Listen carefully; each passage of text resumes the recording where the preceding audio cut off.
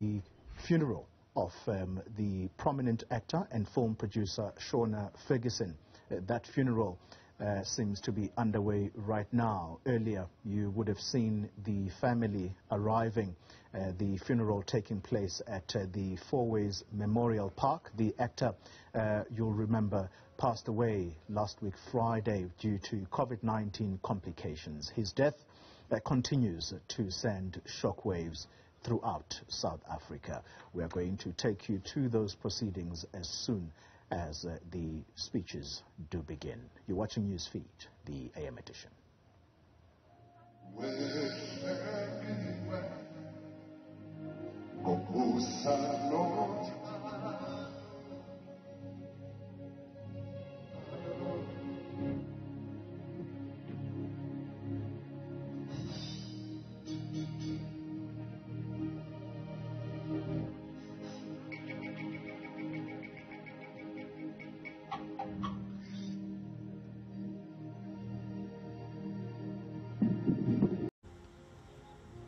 He's always been one of us and he's always been part of us.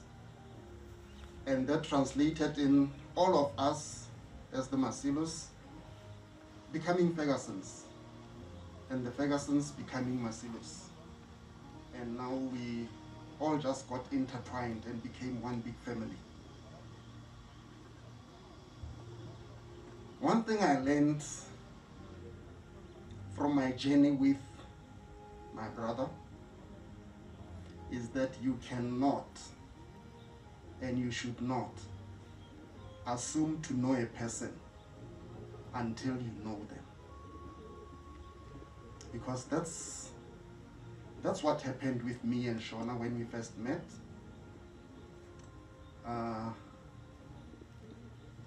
it was even before he met my sister we were working for the same company, Edutech.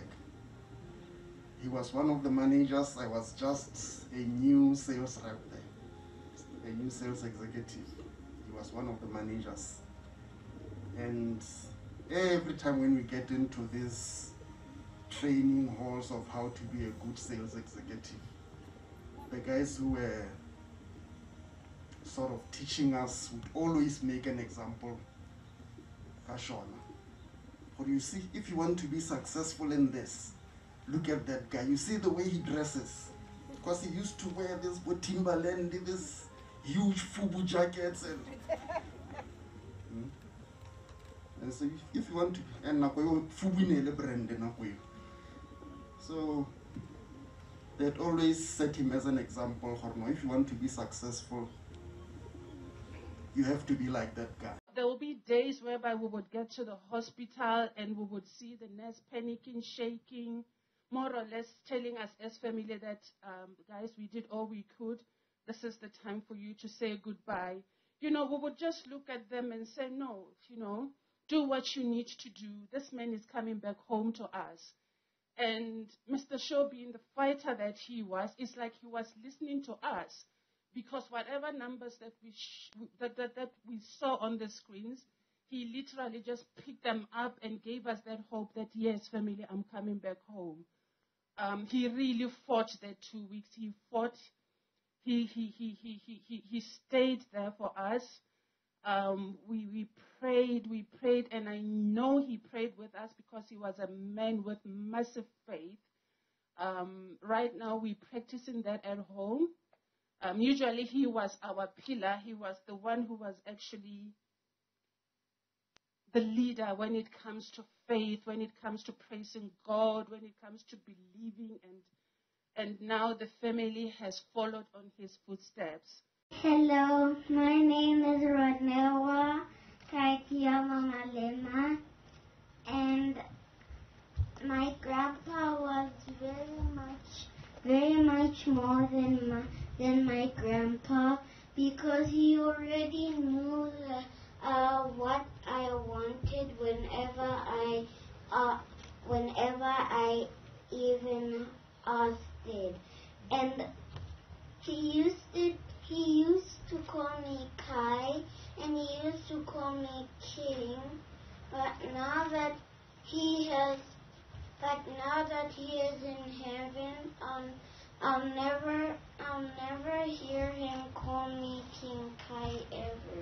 But let your soul rest in peace, and we all love you.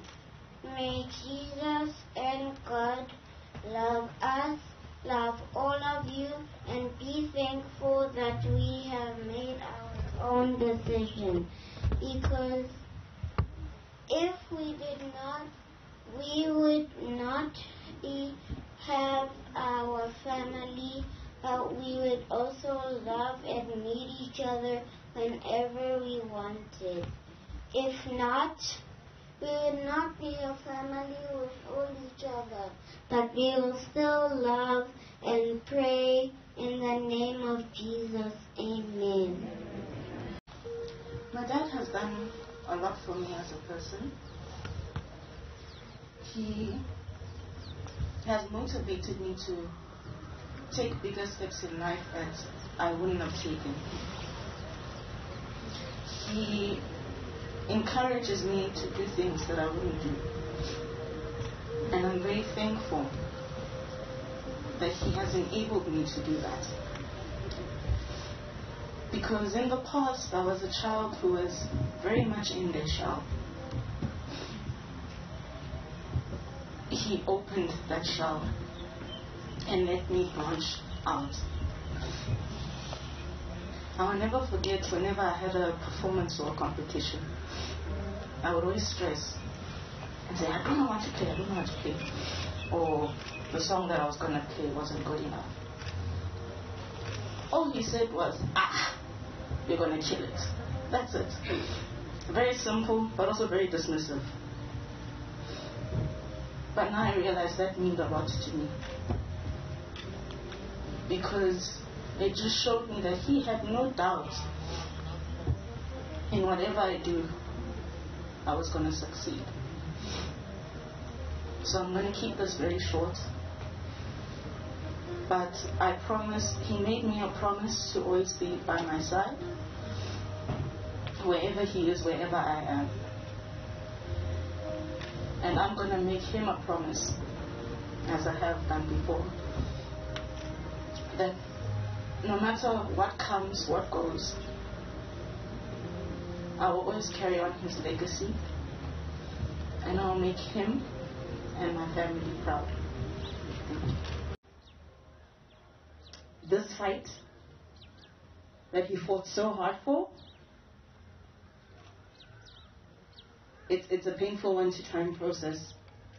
I, I, I can't even lie to you. A lot of this doesn't feel real. A lot of this feels like a bad dream like if if we wake up then you know everything will be back to normal but life doesn't work that way.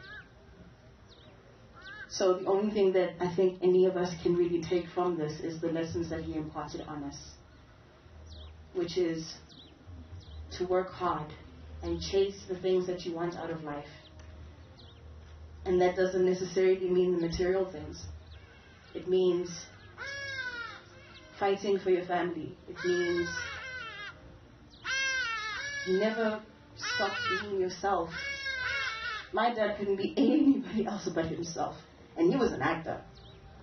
But he never changed for anyone. He, you, you, what you saw was what you got. And I mean, 20 years is a long time, and, and it's such a blessing that, you know, you kind of wish you feel like you had a little bit more, or like one more. I know the one thing I really miss the most right now is his hugs. Especially because I'm short. So I always end up by the chest. So it would be a bear hug. I miss those hugs. Um, they always made you feel like everything is going to be okay.